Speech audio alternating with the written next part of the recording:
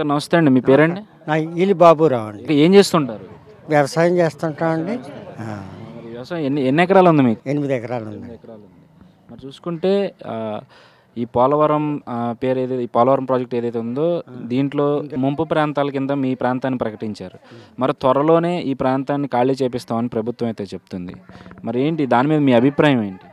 అదే ఇంకా వ్యవసాయ భూములు ఉన్నాయండి. పంటలు పండుతున్నాయి. కనీసం మే నెలాఖరు వరకు వ్యవసాయాలు ఒప్పుడు అవ్వండి. అన్నీ అయిన తర్వాత మరి బోల్డ్ పెట్టుబడి పెట్టున్నారు కదండి. మరి లక్షల మీద కూడా పెట్టిన వాళ్ళు ఉన్నారు మరి అన్నీ ఒబ్బిడి తీసుకున్న తర్వాత ఫ్రెష్గా ఉన్నప్పుడు బయటికి పంపిస్తే అందరికీ ఓకే అండి. అంటే మరి అంటే చెప్తూ వస్తున్నారు కదా గతంలో డిసెంబర్లో ఖాళీ చేపిస్తామని చెప్పారంట. ఇప్పుడు చూస్తుంటే మే నెలలో ఖాళీ చేస్తామని చెప్తున్నారంట. మరి ఏంటి మే నెలకైతే మీకు పంటలన్నీ పూర్తయిపోతాయి అంటున్నారు. కొంత ఇంచుమించుగా అయిపోతాయి. మే నెలాఖరికి అయితే ఇంకా యాక్చువల్గా ఈ మధ్యన వేసారనుకోండి మరి ఇటువంటి కొంచెం లేట్ అవుతాయి. జూన్ జూలై కూడా ఉండొచ్చు. అప్పటికేమో వరద టైం వర్షాల టైం మళ్ళీ దాని మీద ప్రభుత్వం సహకరిస్తే ఒప్పుడు చేసుకుంటారండి. అంటే ఎంత పొలానికి ఎంత ఇస్తుంది ప్రభుత్వం? మీకు ఇక్కడ నుంచి ఖాళీ చేయడానికి ప్రభుత్వం తరపు నుంచి మీకు అందాల్సిన ఎంతవరకు ఆల్రెడీ ఇచ్చేసిందండి ఒకప్పుడు. మా- ల్యాండ్కి ఇచ్చారు. మూడు లక్షల నలభై వేలు ఇచ్చారండి ఎకరానికి. మాకు ఇక్కడ ఇక్కడ నుంచి ఉందండి. పదిహేను ఎకరాల చిల్లర బిట్టది అప్పటికి ఇక్కడ ఈ ప్రాంతంలో పొలం రేట్ చూసుకుంటే ఎంత ఉంది మామూలుగా అప్పటికి? అప్పటికి ఇంత వాల్యూగా లేవు. ఇప్పుడైతే మరి పదిహేను లక్షలు ఇరవై లక్షలు కూడా ఉన్నాయండి. ఇప్పుడైతే. అప్పుడు ఇచ్చిన దాని ప్రకారం అయితే కరెక్ట్గానే ఇచ్చిందంటారా ప్రభుత్వం? తక్కువే అండి. ఒక లెక్క వేసుకుంటే ఎదర ఎదర దాని మీద అయితే బెస్ట్ అండి. ఇక్కడ పక్కనే పైడిపాక ఇంకా ఇంకా ఊళ్ళు ఉన్నాయి. వాళ్ళకైతే అప్పట్లో లక్ష యాభై లక్ష నలభై రెండు లక్షలు లోపు ఇచ్చారు కానీ ఎక్కువ ఇవ్వలేదు. ల్యాండ్కి.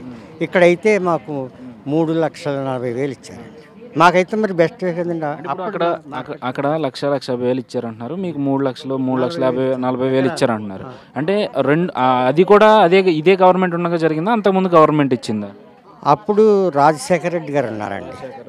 ఉన్నారు ఇప్పుడు ఆ ఊళ్ళకి ఇచ్చినప్పుడు రాజశేఖర రెడ్డి గారు ఉన్నారండి. తర్వాత ఆయన తెలిసిందే కదా. తర్వాత చంద్రబాబు నాయుడు గవర్నమెంట్ రెండు సంవత్సరాల నుంచి నడుస్తుంది. అయితే ఇప్పుడు వాల్యూలు పెరిగినాయి భూమి రేట్లు పెరిగినాయి. అప్పటికి ఇప్పటికి చాలా రేట్లు పెరిగినాయి. ఏమండి? నలభై లక్షలు యాభై లక్షలు కూడా జరుగుతుందండి జరిగే చోట? మరి ఇక్కడ ఏజెన్సీ ఏరియా కాబట్టి ఇక్కడ ఉన్న ట్రైబల్ యాక్ట్ ప్రకారం ట్రైబల్ యాక్ట్ ఉంది కదండి మరి ఇక్కడ. దాని మీద ఎటు ఉంటుందో తెలియదు అది గవర్నమెంట్ ఇష్టం. అంటే ఇప్పటి వరకు పోలవరం ముంపు ప్రాంతాల్లో చూసుకుంటే దీనికి ముందున్న సింగన్నపల్లి వరకు ఖాళీ చేపించడం అనేది జరిగింది ఈ గ్రామాల్లో. ఆ, సరిహద్దు వరకు సింగన్నపల్లి అనేది ఇక్కడ సరిహద్దు గ్రామం. అక్కడ వరకు ఖాళీ చేపించడం అనేది జరిగింది. ఇక ఇప్పుడు ఉన్నది మీదే మొదటి ప్రదేశంలో ఉంది. అందులో నాన్ ట్రైబల్ గ్రామం. ఉన్నాయి ట్రైబల్స్ గ్రామాలండి అక్కడ కొద్ది కొద్దిగా ఉన్నారు నాన్ ట్రైబల్స్. ఎక్కువ జనాభా నాన్ ట్రైబల్స్. అంటే ఇప్పటివరకు చూసుకుంటే ట్రైబల్స్కి భూమికి ఇంకో చోట భూమి ప్రత్యామ్నాయంగా ఇంకో చోట భూమి ఇచ్చారు అని అంటున్నారు కదా. ఇవ్వలేదండి ట్రైబల్స్కి? ట్రైబల్స్కి ఇచ్చారు. మరి మీకు మీ విషయానికి వస్తే నాన్ ట్రైబల్స్ ఎవరైతే ఉన్నారో వారికి భూమికి బదులుగా డబ్బులు మాత్రం ఇచ్చారు భూమి ఇవ్వలేదని చెప్పి చెప్తున్నారు కదా. మరి భూమి కూడా కావాలని మీరు అడగడం అనేది జరిగిందా? అప్పట్లో అడిగారండి. ఏమన్నారు మరి అప్పుడే మరి గవర్నమెంట్ వాల్యూ ప్రకారం భూమి ఆ వే అప్పుడున్న రేటు ప్రకారం భూమి రేటు ప్రకారం ఇచ్చాం మీకు. ఇంకా ఆ డబ్బుతోటే మీరు పలపరుచుకోండి దాచుకున్న వాళ్ళు దాచుకుంటారు ఖర్చు పెట్టుకున్న వాళ్ళు ఖర్చు పెట్టుకుంటారు. మరి ఆ రేటుకి ఆ భూమి రాదు కదండి. మాకు ఇక్కడ జాయింట్ పదిహేను ఎకరాల పొలం ఉందండి. పట్టా ప్రకారం. ఇంకా అవుటర్ వదిలేసేయండి? గోదావరి ఒడ్డే అండి. ఇంకా దానికి అంగీకరించి తీసేసుకున్నాం. అంతే కదా. అప్పుడు రాజశేఖర రెడ్డి ఉన్నాడు. ఇప్పుడు చంద్రబాబు నాయుడు గవర్నమెంట్ నడుస్తుంది. అంటే ఇప్పుడు ఈ గోదావరి ఏదైతే ఉందో ఇది ఉధృతంగా ప్రవహించినప్పుడు ఈ ప్రాంతాలకైతే దాని ద్వారా ముంపు అనేది ఖచ్చితంగా ముప్పు ఉంటుందండి. చెప్పలేం కదండి. వరద ఈ ఊరు ఈ గుడికి వెళ్ళిపోయిందండి ఒకసారి అయితే. అది ఎనభై ఐదో ఎనభై ఆరో. పైనుంచి వెళ్ళిపోయిందండి నీరు. అప్పుడు ఈ గ్రామ ప్రజలంతా కొండలమ్మట అక్కడ అక్కడ అక్కడ కాపురాలుండి ఇటు పిల్లలతో సహా చిన్న చిన్న పిల్లలు కోళ్ళు జంతువులు ఉంటాయి కదా పశువులు మేకలు. అప్పుడు మీ వయసు ఎంత? నాకు అప్పటికి ఫిఫ్టీ ఫైవ్ రన్నింగ్లో అప్పటికి? ఇప్పుడు ఎంత అంటారు వయసు? ఇప్పుడు డెబ్బై రెండు. అంటే దాదాపు పదిహేడు ఏళ్ళ క్రితం పది క్రితం మాట అప్పుడే వచ్చిందండి. ఎనభై ఐదు అంటే మీరు లెక్కేసుకోండి. ఎనభై ఐదులోనే ఫుల్ ఆ- ఆ ఎత్తుకి వెళ్ళిపోయిందండి నీరు. ఉం. ఎవరో ఊళ్ళో ఒక్క మనిషి అన్నవాడు లేరు పిల్లలతోటి మేకలు జంతువులు అన్నీ కూడా అట్ని చూసుకుంటా వచ్చేవారండి. మగవాళ్ళే వచ్చేవారండి. ఆడవాళ్ళు రాలేరు కదా. ఈదుకు రావాలండి. అందులో స్పీడ్గా ఉంటుంది కదా. వరదల నుంచి అరికట్టడానికి లేకపోతే రైతులకి నీరు అందించి రాష్ట్రాన్ని సస్యశ్యామలం చేయడానికి పోలవరం ప్రాజెక్ట్ అనేది కడుతున్నారు. చూపించు పదిహేను జిల్లాలకి ఇది. ఉపయోగం మనది పదిహేను జిల్లాలు కదండి. పదిహేను జిల్లాలకి ఉపయోగపడుతుంది. ఎక్కడ వైజాగ్ ఎక్కడ కడప కర్నూలు. దానివల్ల చూసుకుంటే ఇక్కడ దాదాపు ఏడు మండలాలు ఇబ్బంది పడుతున్నాయని చెప్పి చెప్తున్నారు కదా. మరి దాని మీద మీ అభిప్రాయం? మరి అభిప్రాయం అంటే నష్టపోయాం కదండి. ఇప్పుడు భూమి ఉంటేనే కదండి మనిషి. ఇప్పుడు అక్కడ ఏమీ ఉండదు ఇక. ఈ ఈ జనాన్ని అందరికీ ఆధారం ఏంటండి? పనులకు పోవాలి. చదువుకున్న వాళ్ళైతే ఉద్యోగాలు అయ్యి చూ వస్తాయి. మరి వ్యవసాయదారులకి ఎటువంటి ఆధారం ఉందండి అక్కడ? కూలి పనికి వెళ్ళాలి. ఈ ఈ జనాన్ని అందరికీ అక్కడ పనులు ఉంటాయంటారా? అక్కడ మరి? ఇది ఈ విషయం ఏదైతే ఉందో అది అడిగారు అధికారులను అక్కడ? అది గ్రామ ప్రజల్లో అడగాలి. ఆ- టాపిక్ రాలా. రాలేదు. మేము అక్కడికి వెళ్ళి ఎలా బతకాలి? అంటే పునరావసిస్తున్నాం కదా మీకు.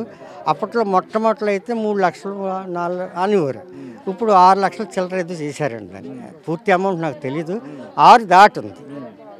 ఆ ఆరు లక్షలతోటి మీరు అక్కడ స్థిర ఏర్పరచుకుంటారు. ఏం పనులు ఉండవు కదా.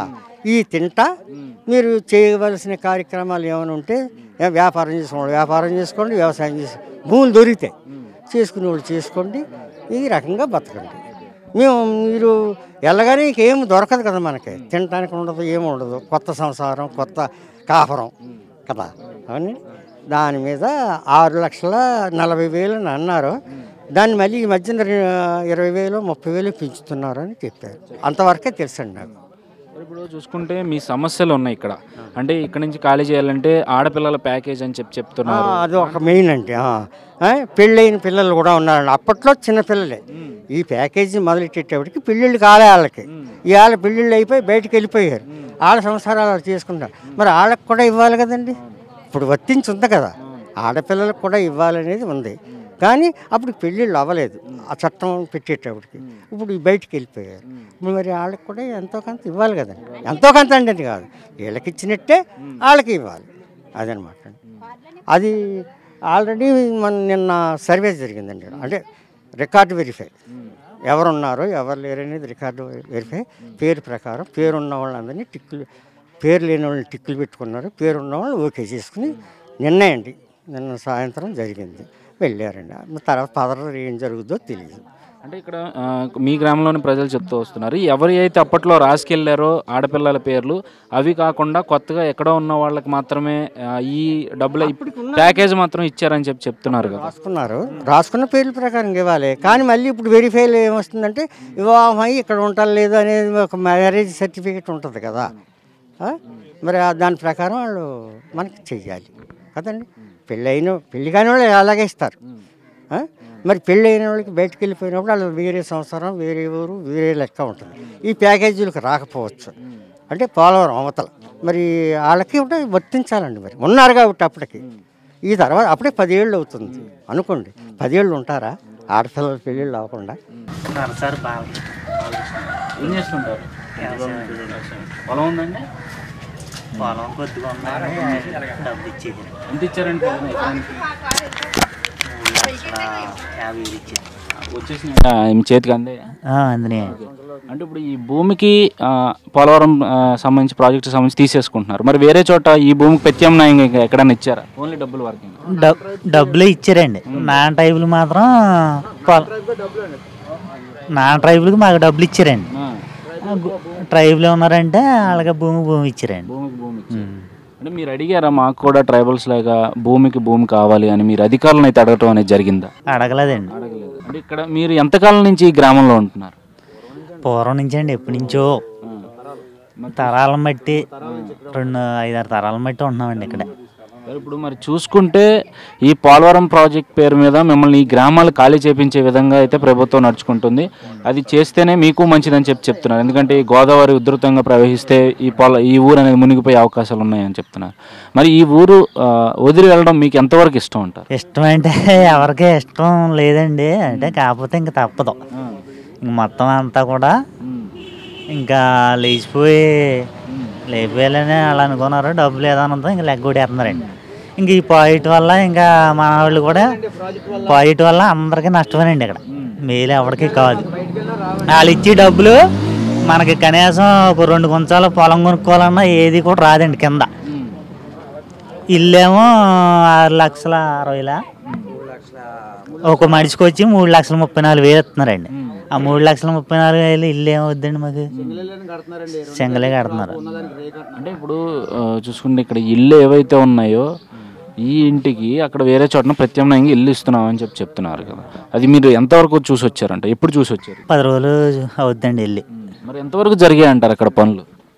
అక్కడ ఏం చే- జరగలేని బేస్మెంట్ స్తంభాలు వేసి కొద్దిగా బేస్మెంట్ వేసారండి అంతే. అండ్ అదైనా కొన్ని కొన్ని. ఇంకా పూర్తిగా కూడా అవ్వలేదు. ఎప్పటికి పూర్తవుతాయని చెప్తున్నారు మరి? డిసెంబర్ కానీ మే నెల కానీ పూర్తి అవుతాయి అంటున్నారు ఆ.